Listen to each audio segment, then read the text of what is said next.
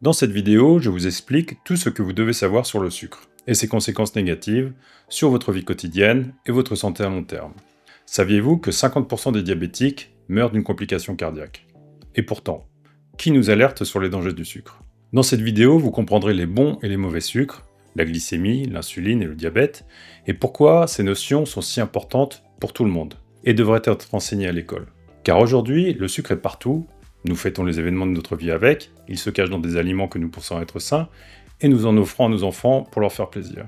Alors qu'ils tuent, silencieusement, sans que personne n'en parle.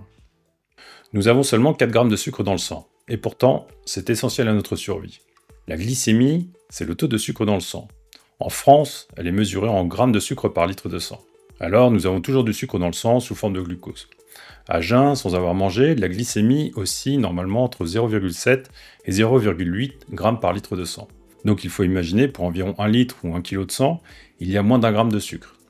En tout, à jeun, pour une moyenne de 5 litres de sang par adulte, cela fait 3,5 à 4 g de sucre. Et ce sucre est utilisé par les cellules pour produire de l'énergie. Sans activité physique, nous consommons de 12 à 15 g de sucre par heure. Au repos, cette énergie est en bonne partie utilisée par le cerveau.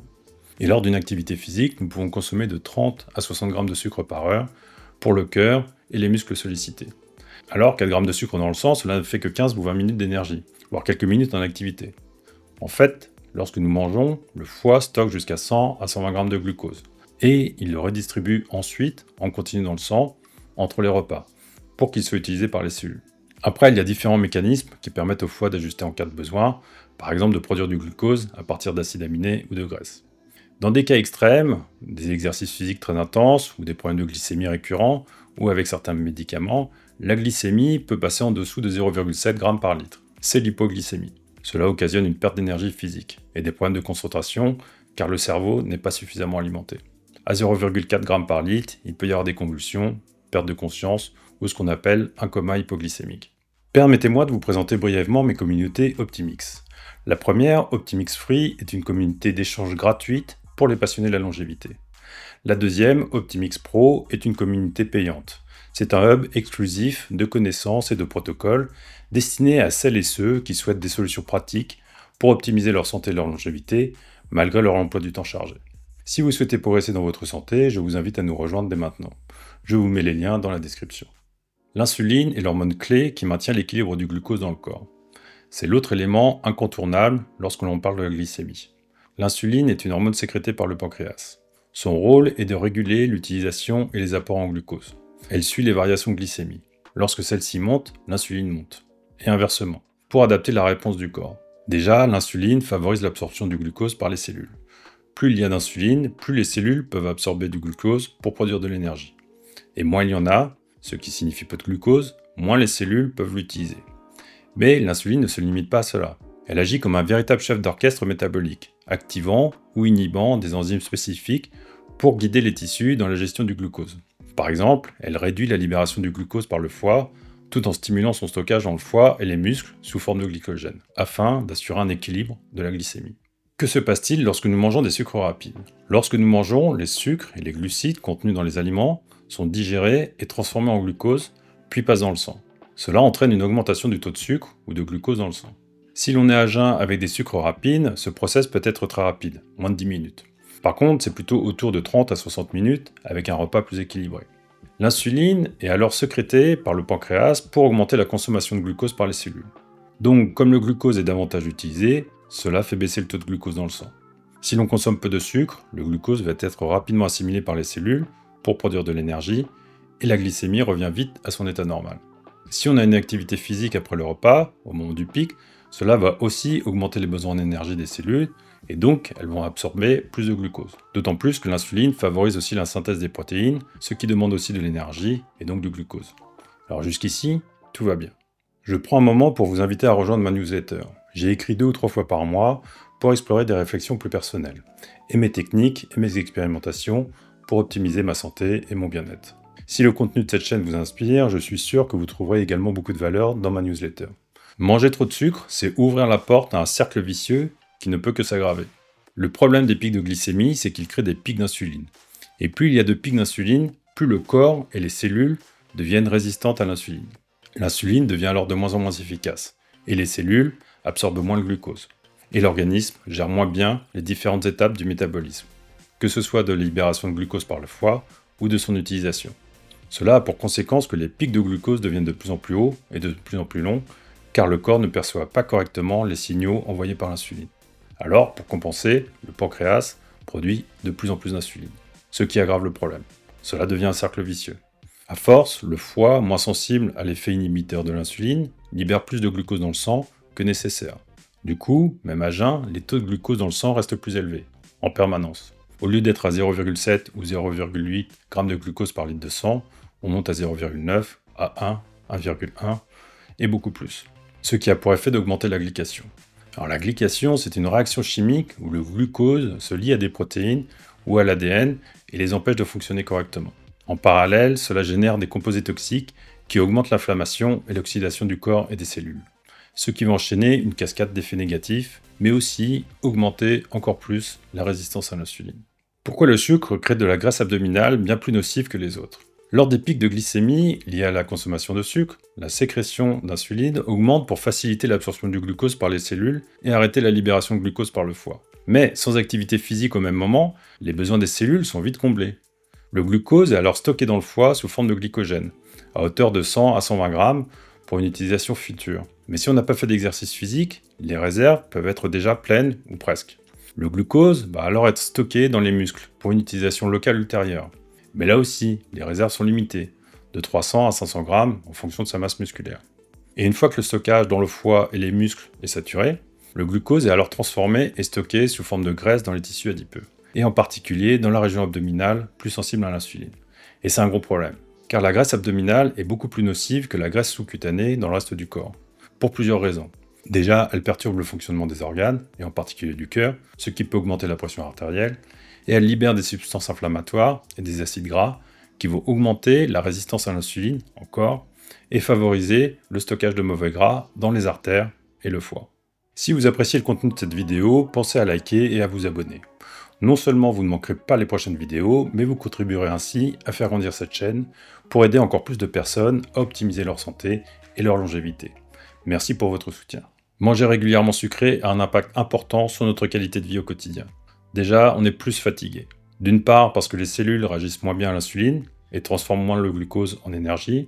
Aussi, les pics de glycémie rapides et intenses peuvent entraîner un afflux massif d'insuline, ce qui peut créer une hypoglycémie réactionnelle après le repas. À ce moment-là, le taux de glucose est trop bas et on est à plat. Ce qui peut faire croire au corps que nous manquons d'énergie et donc il faut manger. Et comme celui-ci est habitué au sucre et à réagir au circuit de dépendance dans le cerveau, notamment via la dopamine, le corps veut juste plus de sucre. Plus on mange de sucre, plus on a faim. Et puis, les pics de glycémie provoquent la transformation et le stockage de sucre sous forme de graisse, en particulier dans la région abdominale, qui est plus réceptive à l'insuline. Ce qui peut créer des dysfonctionnements digestifs, des ballonnements, et à terme, un gros ventre. Et puis, les variations de glucose provoquent des problèmes de concentration, comme le brain fog, de mémoire et de capacité de raisonnement, car le cerveau n'est pas correctement alimenté en énergie, peut-être trop ou pas assez. Et d'un point de vue émotionnel, les variations glycémie perturbent aussi les niveaux de sérotonine, de dopamine et de cortisol, ce qui entraîne de l'irritabilité et du stress, et nous rend globalement bien moins heureux. Selon une méta-analyse de 2018 portant sur plus de 4 millions d'individus, les diabétiques ont plus de 50% de chances de mourir d'un accident cardiovasculaire. 50%. Pourtant, qui en parle? Lorsque l'on évoque les risques d'accident cardiaque, on nous dit de faire attention à sa pression artérielle, à la cigarette, au bon et au mauvais gras et à son taux de cholestérol, qui peuvent boucher les artères. Alors tout ça reste vrai. Mais pourquoi ne nous dit-on rien sur le sucre et ses conséquences? La hausse de glycémie a plusieurs effets délétères sur la santé cardiaque, comme d'augmenter les dépôts de cholestérol dans les parois sanguines et d'augmenter la pression artérielle, ou de stocker plus de graisse viscérale qui vont créer des inflammations et altérer le fonctionnement cardiaque. Une autre étude sur 7 ans a montré qu'un diabétique a autant de chances de mourir d'infarctus qu'un non-diabétique qui a déjà subi un infarctus et survécu, c'est-à-dire 19%, au lieu de 3,5% pour les autres personnes. Et beaucoup considèrent maintenant que le sucre et la résistance à l'insuline sont la première cause de maladie cardiaque. Et en bonus de tout cela, il y a aussi le vieillissement accéléré des cellules, l'augmentation significative des risques de cancer, de maladies cardio-respiratoires ou neurodégénératives comme Alzheimer. Ainsi, si l'on souhaite vivre en bonne santé longtemps, limiter sa consommation de sucre et ses pics de glycémie est une stratégie fondamentale. Quel objectif de glycémie avoir si on souhaite optimiser sa santé et sa longévité? Alors si on demande à son médecin, il dira probablement de rester sous le seuil du prédiabète, sans autre information. Donc être en dessous de 1,10 g par litre en France. Et 1 g par litre aux USA et en Grande-Bretagne, pour les hommes et les femmes. Alors par contre, pour le diabète, tout le monde a l'air d'accord, cela commence à partir de 1,26. Alors le prédiabète est considéré comme une étape intermédiaire. Pré-diabète, car si on ne change pas ses habitudes alimentaires, avec la résistance à l'insuline qui augmente et le vieillissement de l'organisme, on arrive forcément au diabète. Mais prédiabétique, c'est juste diabétique non officiel. Le docteur Peter Attia, expert en longévité américain, demande à tous ses patients d'être en dessous de 1 g par litre, donc en dessous du prédiabète. Mais pour moi, c'est vraiment un objectif à minima. Les gouvernements n'ont probablement pas envie d'alarmer leur population ou de surcharger leur système de santé. Et le docteur Attia pas forcément envie que ses clients se sentent soumis à trop de contraintes alimentaires. Mais 1 gramme, et encore plus 1,10 g en France, c'est une résistance déjà avérée. Si l'on veut vraiment optimiser sa santé, il faut descendre au plus bas, entre 0,7 et 0,85 g par litre. Et sinon, chercher à s'en approcher le plus possible. Même 0,90, ça reste bien mieux qu'un gramme. Nos ancêtres mangeaient-ils du sucre ou même des glucides? Pour nos ancêtres chasseurs-cueilleurs, le sucre et les glucides étaient rares, exceptionnels. Les fruits sauvages étaient beaucoup moins gros et sucrés que ceux d'aujourd'hui, et inexistants pendant l'hiver ou dans les zones froides. Il pouvait y avoir du miel en été, mais encore fallait-il pouvoir y accéder. Et puis il y avait quelques racines et tubercules sauvages, mais là encore beaucoup moins sucrés qu'aujourd'hui. Naturellement, tout cela dépendait beaucoup des climats et des régions. Mais à part dans quelques régions tropicales, cela faisait très peu de sucre et de glucides. On estime qu'ils consommaient au maximum 500 g à 1 kg de sucre par an, et dans beaucoup de régions, cela devait être proche de zéro. En fait, avec leur alimentation basée sur les protéines et les lipides, et très peu de glucides, ils étaient en cétose la grande majorité du temps. Cela signifie que leur organisme utilisait les graisses plutôt que le glucose pour produire de l'énergie. Et tout allait bien. Alors on entend souvent dire que le cerveau a besoin de sucre, mais non en fait. Nous avons survécu pendant des centaines de milliers d'années avec très peu de sucre. C'est juste une autre source d'énergie, mais qui n'est absolument pas nécessaire. Aujourd'hui en France, on compte plus de 4 millions de diabétiques et on estime qu'il y aurait environ 10 millions de prédiabétiques, dont la plupart l'ignorent. Pourtant, pendant la majeure partie de l'histoire, le sucre est resté un luxe inaccessible. Malgré le développement des cultures de canne à sucre, puis de la betterave au XVIIIe siècle, le sucre a toujours été un produit rare, réservé aux élites.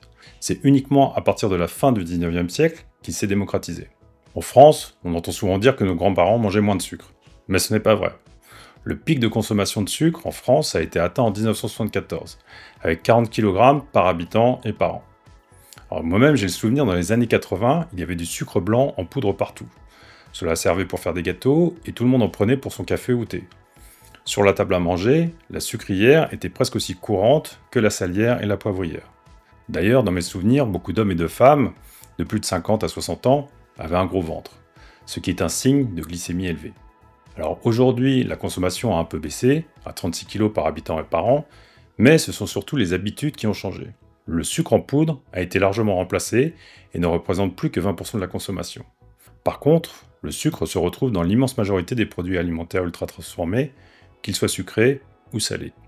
Les gâteaux industriels, les sodas, les thés glacés, mais aussi les plats préparés, les sauces, les soupes déshydratées et même certaines charcuteries. Ce psychologue a révolutionné l'industrie alimentaire et pas pour le meilleur.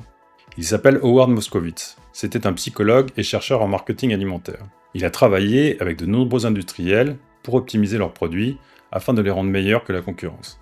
Car à un moment donné, il ne suffit plus d'ajouter plus de sucre, de sel ou de gras. On devient vite écœuré. Mais grâce à ses recherches, Moskowitz a développé le concept de bliss point, ou point d'extase. C'est lorsque le niveau de sucre, de sel et de gras est optimal pour maximiser le plaisir du consommateur. C'est le mélange parfait, qui nous donne envie et nous fait consommer plus. Le sucre est hautement addictif, car il booste la dopamine et crée un sursaut d'énergie. Donc en ajouter dans les aliments ou les boissons, même si on ne sent pas le goût, permet aux consommateurs de mieux apprécier et d'en vouloir davantage. Pour les industriels, c'est juste plus d'argent. Alors il est peu probable que l'intention de Moscovitz était de créer des aliments addictifs et mauvais pour la santé. Mais ces travaux ont ouvert la voie à cette recherche permanente de points d'extase par l'industrie agroalimentaire. Et aujourd'hui, cela va même plus loin, car certains aliments peuvent être vidés de leur aspect nutritif. Du coup, on a toujours faim après les avoir consommés, et on en veut toujours plus. Y a-t-il des bons et des mauvais sucres, et comment faire la différence? Alors le sucre est un glucide un peu particulier. Au-delà de son goût sucré, sa vraie particularité, c'est d'être digéré et transformé bien plus rapidement en glucose par l'organisme. Alors on nous dit qu'il faut manger des glucides, des fruits, des céréales, du miel. Que tout ça c'est bon pour la santé. qu'il y a des fibres, des glucides complexes, des simples, mais qu'en même temps, il faut faire attention au sucre. Pas facile de comprendre et de faire la part des choses, de savoir ce qui est bon ou mauvais. Tout ça, en fait, c'est du marketing industriel et de l'influence pour éviter le vrai sujet. La seule chose qui compte pour évaluer un aliment, c'est son indice glycémique. Celui-ci montre la vitesse de digestion et d'absorption d'un aliment et son impact sur le taux de sucre dans le sang, la glycémie. L'indice glycémique ne tient pas compte de la proportion de glucides, des sucres simples ou complexes, de la qualité ou je ne sais pas quoi d'autre. Plus la valeur est élevée, plus la hausse glycémique est rapide et importante. Alors naturellement, cela dépend aussi des proportions. Plus l'indice glycémique de l'aliment est élevé et plus la quantité est importante, plus cela a un impact sur la hausse de glycémie. Et plus c'est négatif en termes de santé. Quels aliments font exploser la glycémie avec leur indice glycémique élevé? Alors partons du plus bas au plus haut. À zéro d'indice glycémique, on trouve les protéines animales, les œufs, les huiles, les fromages, parce que ces aliments ne contiennent pas de glucides. Et il y a aussi les fibres, car elles ne sont pas digérées par l'organisme. De 0 à 40, c'est ce qu'on appelle un indice glycémique faible. La glycémie augmente, mais peu et lentement. On y trouve les fruits noirs et rouges, les légumes et légumineuses, les produits laitiers, les amandes. Entre 40 et 59, c'est un indice glycémique moyen. La hausse est plus importante, cela commence à poser problème, alors on y trouve principalement les fruits plus sucrés, les pains et céréales complètes. Et au-delà de 60, c'est un indice glycémique élevé, ce qu'on appelle aussi les sucres rapides. On y trouve les fruits sucrés et mûrs, les fruits secs, les racines cuites comme les carottes, toutes les céréales non complètes et les produits transformés comme les cornflakes, les biscottes, les chips. L'IG théorique maximale est de 100, à 90-100, on trouve tout ce qui est très sucré. Les bonbons, les sirops, les boissons sucrées, les pains, les boulangeries, les gâteaux à partir de farine blanche, et aussi les pommes de terre cuites, en purée ou en frites. Donc voilà, la première chose à faire lorsque l'on cherche à savoir si un aliment est bon ou mauvais, c'est de regarder son indice glycémique. À mon sens, cela devrait même être indiqué sur chaque paquet. Cela viendra peut-être. Et si on n'a pas l'indice glycémique, dans ce cas-là, il faut regarder la quantité de sucre dans les ingrédients. Car en règle générale, plus il y en a, plus l'indice glycémique est élevé. Il y a 10 ans, Nicolas, un de mes amis proches, qui était diabétique de type 2, a été retrouvé mort. Il surfait sur son ordinateur chez lui un samedi après-midi. Crise cardiaque à 40 ans. Dans notre groupe d'amis, personne ne savait que le diabète pouvait amener à ça. Nous le savions tous malades, mais nous étions tous surpris de sa mort brutale et inattendue. Nous pensions que le diabète c'était une maladie longue, avec des complications qui duraient sur des années. Mais en fait non. 50% des diabétiques meurent d'une maladie cardiaque. Cela peut donc arriver du jour au lendemain. Bien avant cela, un de mes grands-oncles était aussi mort d'une crise cardiaque. Chez lui, alors qu'il était à la retraite, et sans faire d'efforts particuliers. Il n'y avait eu aucun signe précurseur. Il n'avait pas de problème de cœur, comme on dit, ou de problème de santé important. Mais il approchait des 70 ans. Alors tout le monde s'était dit que ça devait être, lié à son âge. Mais oui, il était tout de même diabétique. Les dégâts liés au sucre, à la hausse de glycémie et à la résistance de l'insuline ne peuvent que s'accentuer. Le seul moyen d'arrêter cette progression est de changer ses habitudes alimentaires au plus vite et de limiter les pics de glycémie. Cette vidéo est maintenant terminée. Je vous remercie de l'avoir suivi jusqu'au bout. La prochaine vidéo vous donne les stratégies à mettre en œuvre pour limiter les pics de glucose et ainsi retrouver une glycémie normale. Si vous pensez que son contenu est utile, pensez à vous abonner et à commenter ou à la partager avec quelqu'un. Vous pouvez aussi trouver plus d'informations et un guide détaillé sur la glycémie dans Optimix Pro. Je vous dis à tout de suite.